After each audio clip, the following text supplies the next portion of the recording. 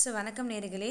So பாருங்கள் இன்றைக்கி நம்ம வந்து பஞ்சுவேஷன் கொண்டு வந்திருக்கோம். பூர்ண விராம் பாருங்கள் எப்படி இருக்குது அர்த்த விராம் எப்படி இருக்குது அல்ப விராம் பாருங்கள் பிரஷ்னவாசக் சூச்சக் எப்படி இருக்குது பாருங்கள் யோஜக் சின்ன கோஷ்டக் சின்ன ப்ராக்கெட் அடுத்தது அவதரன் இது வந்து எக்ஸாம்பிள்ஸ் மேலே ஓப்பன் கொட்டேஷன் க்ளோஸ் கொட்டேஷன் விஸ்மைதி போஷ் போதக்.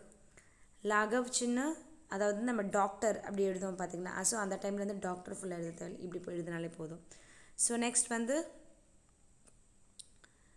நிர்தேஷக் விவரன் த்ருட்டி பூரக் நன்றி வணக்கம்.